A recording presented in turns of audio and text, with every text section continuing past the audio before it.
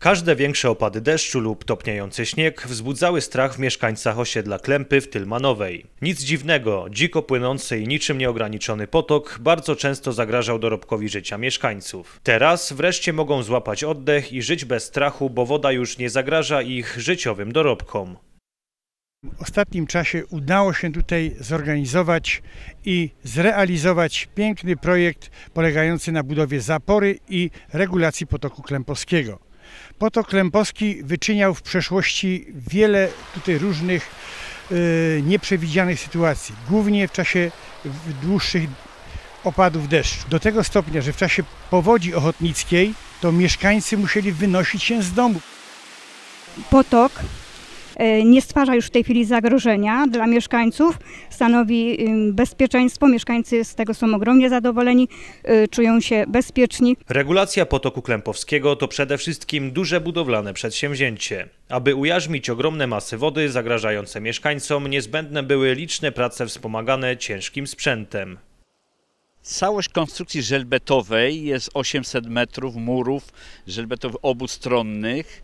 W tym y, dno jest naturalne, ale y, redukcja spadku jest y, zrobiona z gurtów poprzecznych, 140 gurtów poprzecznych, redukujących ten spadek, który wynosi 5%. Jeśli chodzi o kubaturę robót ziemnych, około 2000 kubików, w ten sposób udało się w krótkim okresie dzięki temu zrealizować, że w miarę pogoda nam sprzyjała, duża wyrozumiałość ze strony mieszkańców, przy tak gęstej zabudowie jest to bardzo trudna, trudna praca. Mieszkańcy doskonale pamiętają powodzie i szkody, które powodował potok Klempowski. Teraz nie kryją zadowolenia, co jest najlepszym dowodem na to, że inwestycja była niezbędna i na stałe zmieni codzienne życie mieszkańców. Konsekwencje były ogromne. Na posesjach był muł, kamienie, zalewało pola uprawne, drzewami niosło tutaj tym potokiem. No, skutki tragiczne były. No teraz jest na pewno bardzo bezpiecznie, no i nie tyle bezpiecznie, ale i pięknie i, i, i możemy spać nad tym potokiem spokojnie.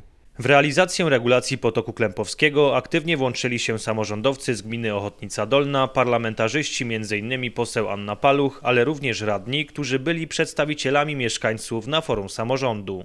Moim zadaniem jako radnego gminnego było nie dopuścić, aby przepadło nam pozwolenie na budowę, które kończyło się 1 stycznia 2016 roku. I robiliśmy tutaj we współpracy z panią radną Sołecką wszystko, e, aby zaangażować i to na szczeblu ministerialnym, jak i e, e, lokalnym wszystkie osoby, które by nam mogły pomóc w tym, aby, aby to mogło dojść do skutku.